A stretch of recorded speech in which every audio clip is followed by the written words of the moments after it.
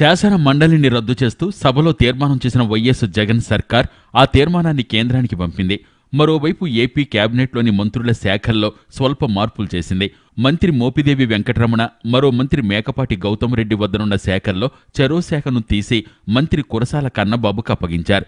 మోపిదేవి వద్ద ప్రస్తుతం మార్కెటింగ్ శాఖ పశుసంవర్ధక శాఖ ఫిషరీస్ శాఖ ఉన్నాయి. వాటిలో నుంచి మార్కెటింగ్ శాఖను తీసి వ్యవసాయ శాఖ మంత్రి కన్నబాబుకు అప్పగించారు.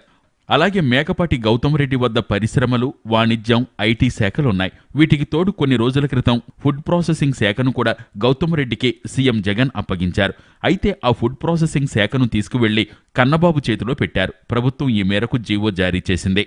మోపిదేవి వెంకటరమణ ఎమ్మెల్సీగా ఉంటూ మంత్రిమండలిలో కొనసాగుతున్నారు. ఇటీవల మండలిని రద్దు చేయాలని ప్రభుత్వం తీర్మానం చేయడంతో ఆయన మంత్రి పదవికి రాజీనామా చేయాలనే డిమాండ్ కూడా తెరపైకొచ్చింది.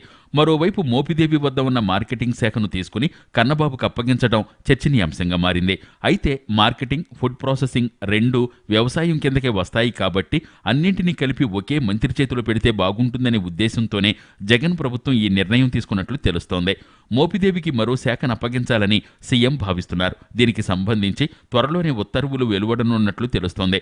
అలాగే బదలాయించిన ఫుడ్ ప్రాసెసింగ్ పోను మంత్రి మేకపాటి గౌతమరెడ్డి వద్ద పరిశ్రమలు వాణిజ్యం ఐటీ శాఖలు ఉన్నాయి. కొద్ది రోజుల కిందటే ప్రభుత్వం ప్రతిష్టాత్మకంగా తీసుకున్న స్కిల్ డెవలప్మెంట్ శాఖను మంత్రి గౌతమ్ రెడ్డికి అప్పగించారు.